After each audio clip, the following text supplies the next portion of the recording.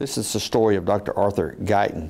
So Guyton Hall, Holston School of Education, is actually named for Dr. Dr. Arthur Guyton's father, Dr. Billy Guyton, who was dean of our medical school in the 1930s and early 1940s when it was still a two-year school here on the Oxford campus.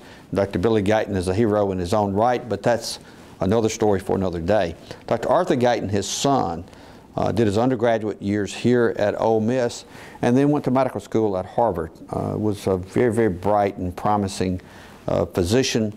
Finished medical school at Harvard and was doing a residency in surgery when sadly uh, contracted polio.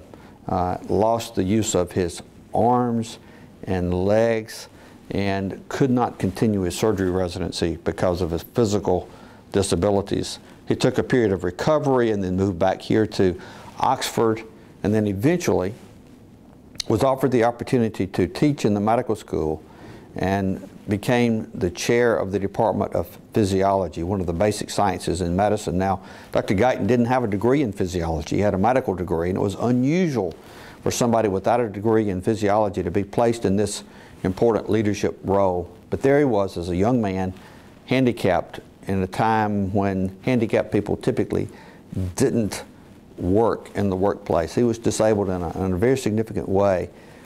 Uh, but he took on this responsibility of teaching physiology and leading the physiology department uh, right here on our campus, uh, down in what is now uh, Guyton Hall, was housing the medical school then.